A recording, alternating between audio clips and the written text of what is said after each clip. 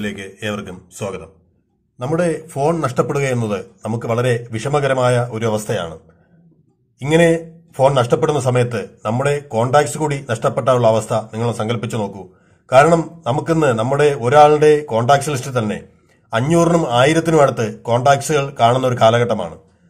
ഇത്തരം സന്ദർഭങ്ങളിൽ നമ്മുടെ കോണ്ടാക്ട്സുകൾ നമ്മുടെ ഫോണിൽ സേവ് ചെയ്തിരിക്കുന്ന കോണ്ടാക്ട്സുകൾ നഷ്ടപ്പെടാതെ ജിമെയിലിലേക്ക് എങ്ങനെ ബാക്കപ്പ് ചെയ്ത് സൂക്ഷിക്കാമെന്നാണ് നമ്മൾ ഇന്ന് വീഡിയോയിലൂടെ പരിശോധിക്കുന്നത്.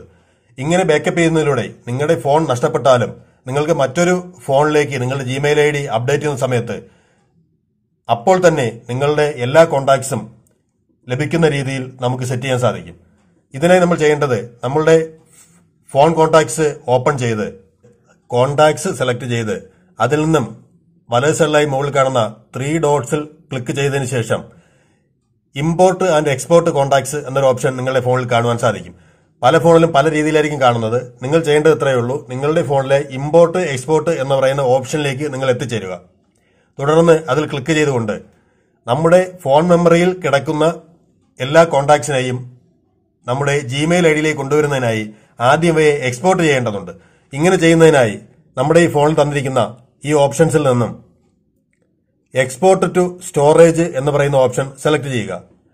ഇങ്ങനെ സെലക്ട് ചെയ്യുമ്പോൾ നിങ്ങളുടെ ഡിവൈസിൽ കിടക്കുന്ന കോണ്ടാക്ട്സിനെ ഒരു വി സി എഫ് ഫയലായിട്ടാണ് കൺവെർട്ട് ചെയ്യുന്നത്. അതിനായി വി സി എഫ് ഫയലായിട്ട് കൺവെർട്ട് ചെയ്യുന്നതിനായി നിങ്ങൾ ഓക്കെ കൊടുക്കുക.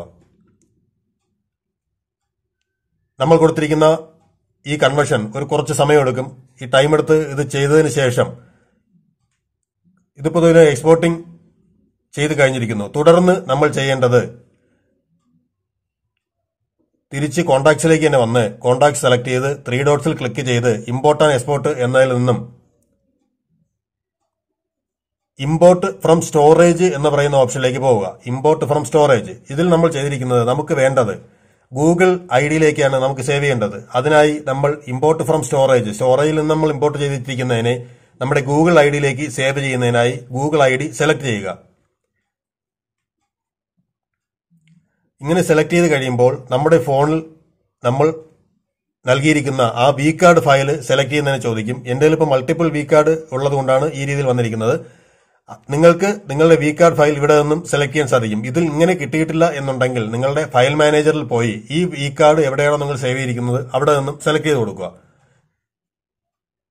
നമ്മൾ ലോക്കൽ കോൺടാക്ട്സിൽ നിന്നും ജിമെയിൽ ഐ ഡിയിലേക്ക് നമ്മുടെ എല്ലാ കോണ്ടാക്ട്സുകളും ബാക്കപ്പ് എടുക്കുന്നതാണ്. ഇതിനായി കുറച്ച് ടൈം എടുക്കുന്നതാണ് നിങ്ങൾക്ക് ഇപ്പോൾ കാണാൻ സാധിക്കും. ഇവിടെ ബാക്കപ്പ് എടുത്തുകൊണ്ടിരിക്കുന്നത് കാണുവാൻ സാധിക്കും. ഇപ്പോൾ ഈ ബാക്കപ്പ് എടുക്കുന്ന സമയത്ത് തന്നെ എന്റെ ഫോണിന്റെ കോണ്ടാക്ട്സ് എടുക്കുമ്പോൾ ഇതിൽ നിന്നും ഞാനിപ്പോൾ എന്റെ ലോക്കൽ ഡിവൈസിലാണ് ഈ പറയുന്ന മുഴുവനും കിടക്കുന്നത്. എന്റെ മെയിൽ ഐ ഡിയിലേക്ക് ഞാൻ സേവ് ചെയ്തിട്ടില്ല. ഇപ്പോൾ ഇവിടെ ലോക്കൽ എന്ന ഒരു ഓപ്ഷൻ മാത്രമേ നിങ്ങൾക്ക് കാണാൻ സാധിക്കും. ഇവിടെ ലോക്കൽ എന്നുള്ള ഒരു ഓപ്ഷൻ മാത്രമേ ക്ലിക്ക് ചെയ്താൽ കിട്ടുന്നുള്ളൂ. നമുക്കിത് സേവ് ചെയ്തതിന് ശേഷം നോക്കാം. ഇത് ഇമ്പോർട്ട് ചെയ്ത് സേവ് ചെയ്തതിന് ശേഷം നമുക്ക് നോക്കാം.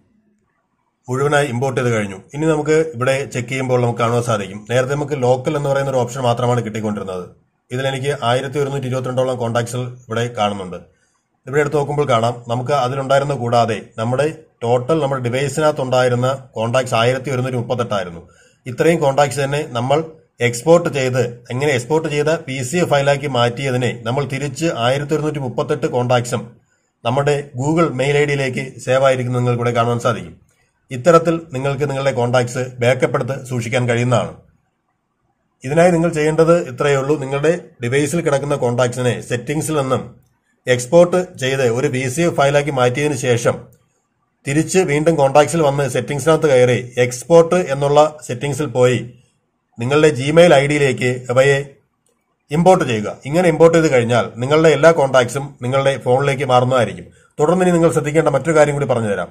നമ്മൾ സാധാരണ രീതിയിൽ കോൺടാക്ട്സ് ടൈപ്പ് ചെയ്ത് സേവ് ചെയ്യുമ്പോൾ ന്യൂ കോൺടാക്ട്സ് എടുക്കുന്ന സമയത്ത് നമുക്ക് ഇതുപോലൊരു ഓപ്ഷൻ നിങ്ങളുടെ ഫോണിൽ വരുന്നതായിരിക്കും. പല ഫോണിലും പല രീതിയിലായിരിക്കും. ഇതിൽ നമ്മൾ ലോക്കൽ ഡിവൈസ് എന്നുള്ളതിന് പകരം നിങ്ങളുടെ ജിമെയിൽ ഐ ഡിയിലേക്കാണ് സേവ് ചെയ്യുന്നതെങ്കിൽ നിങ്ങളുടെ ജിമെയിൽ ഐ ഡിയിലേക്ക് കൊടുക്കുന്ന സമയത്ത് കൊടുത്ത് സേവ് ചെയ്താൽ ഈ പറയുന്ന കോൺടാക്ട്സ് എല്ലാം ആദ്യമേ തന്നെ നിങ്ങളുടെ ഐ ഡിയിലേക്ക് സേവ് ആവുന്നതും നിങ്ങൾക്ക് മറ്റൊരു ഫോൺ ഉപയോഗിക്കുമ്പോൾ അതിൽ നിന്നും ഓട്ടോമാറ്റിക്കായി നിങ്ങൾക്ക് ഡൗൺലോഡ് ചെയ്യാൻ കഴിയുന്നതാണ് ഇത് നിങ്ങൾക്ക് വേണമെങ്കിൽ സെറ്റിംഗ്സിൽ നിന്നും നിങ്ങളുടെ ജിമെയിൽ ഐ ഡി തന്നെ സേവ് ചെയ്ത് കോൺടാക്ട് സേവ് ചെയ്യുന്ന രീതിയിലും സെറ്റ് ചെയ്ത് വയ്ക്കുവാൻ സാധിക്കും. കോൺടാക്ട് സേവ് ചെയ്യുന്ന ഈ ഒരു വീഡിയോ നിങ്ങൾക്ക് ഇഷ്ടമായി വിശ്വസിക്കുന്നു. ഈ വീഡിയോയിൽ എന്തെങ്കിലും സംശയങ്ങളുണ്ടെങ്കിൽ നിങ്ങൾക്ക് വീഡിയോയുടെ താഴെ കമന്റായി ചോദിക്കാം. മറ്റൊരു വീഡിയോയുമായി വീണ്ടും കാണും വരെ. നമസ്കാരം.